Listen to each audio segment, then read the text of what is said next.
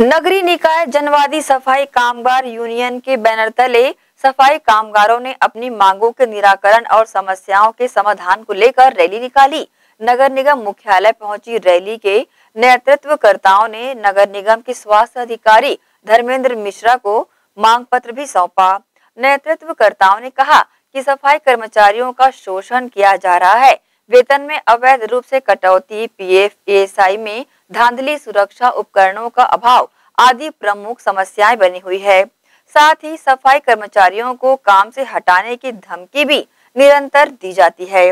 ज्ञापन की जानकारी जयप्रकाश नायर ने दी है। हाँ अभी जो है नगरीय निकाय जनवादी सफ़ाई कामगार यूनियन छत्तीसगढ़ मुक्ति मोर्चा मजदूर कार्यकर्ता कमेटी की तरफ़ से दुर्ग ज़िले के तमाम नगरीय निकायों, पंचायत और परिषदों में काम करने वाले आयनित कामगार इसमें सफ़ाई कामगार भी हैं दैनिक में जो काम कर रहे हैं, वो भी है डाटा ऑपरेटर है, तमाम मुद्दों को लेकर।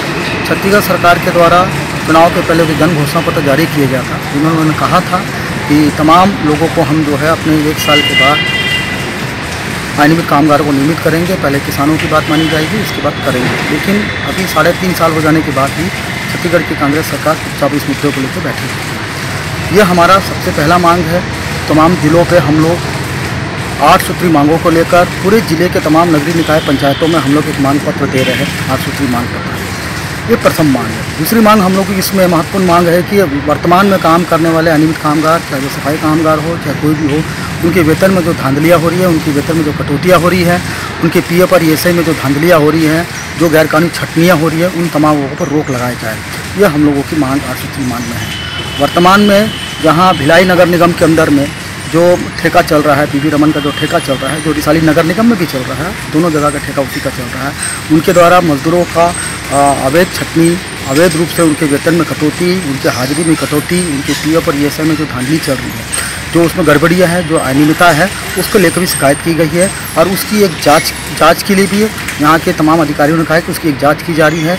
मजदूरों से तमाम डाटा उपलब्ध कराया जा रहा है कि पीएफ में जितना जिनकी हाजिरी है उस हिसाब से आप लोगों द्वारा ज्ञापन किसको दिया गया हम लोगों ने इन तमाम मुद्दों को लेकर ज़िले के तमाम जगह पर ज्ञापन दिया है। भिलाई नगर निगम में हम लोगों ने ज्ञापन क्योंकि अभी नियमित कर्मचारियों का हड़ताल चल रहा है। डीओ को लेकर इसलिए वहाँ पर संबंधित अधिकारी है, स्वास्थ्य अधिकारी धर्मेंद्र मिश्रा जी के हाथ में आयुक्त के नाम से ज्ञापन दिया गया है। वैसे ही तमाम नगरीय निकायों में दुर्ग से लेके पाटन तक, पाटन से लेके धंधा तक, सभी जगह पर 22 तारीख से लेकर लगातार एक एक दिन का हमारा प्रदर्शन चल रहा है और प्रदर्शन के माध्यम से हम लोग ज्ञापन दे रहे हैं।